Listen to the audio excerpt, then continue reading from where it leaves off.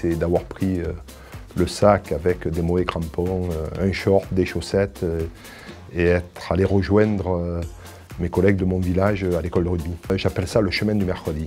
Mon père était joueur de rugby, mon père était éducateur au rugby club tournai, je devais avoir 6 ou 7 ans. Et puis à un moment donné, bon, j'ai choisi d'aller au rugby. On est passionné, moi je ne m'investis pas dans au va l'ensemble. Je me suis investi dans le rugby le premier jour où j'ai pris le sac. Et aujourd'hui, je regarde le rugby depuis un certain temps, j'ai été président de club, j'avais plusieurs solutions. Je pouvais rester dans mon coin, lire euh, l'équipe, regarder les magazines, euh, attendre midi olympique comme, un fou pour balancer. Ou j'avais celle de dire non, je ne suis pas d'accord.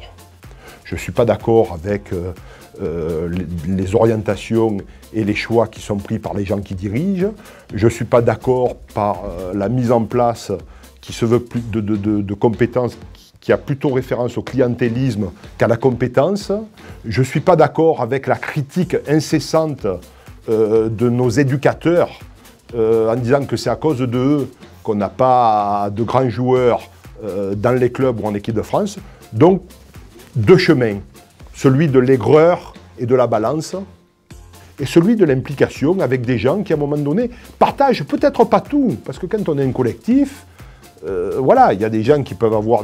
Mais globalement, sur 4 ou 5 lignes, où on partage un certain nombre de visions et aussi de valeurs qui peut-être euh, seront différentes de celles des gens qui nous dirigent aujourd'hui.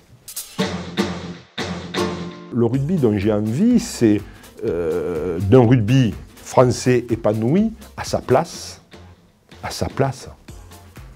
Depuis que l'équipe de France existe, euh, ont joué les premiers rôles.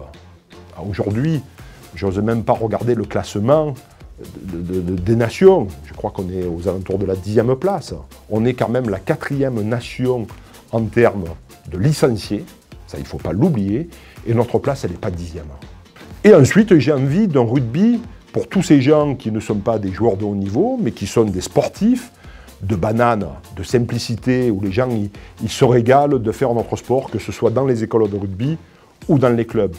Parce que le, le rugby, c'est bien sûr l'équipe de France, c'est notre locomotive, c'est bien sûr les clubs, mais c'est aussi tous ces gens qui se donnent rendez-vous deux, trois fois par semaine après le boulot pour encore aller jouer le dimanche contre le village d'à côté.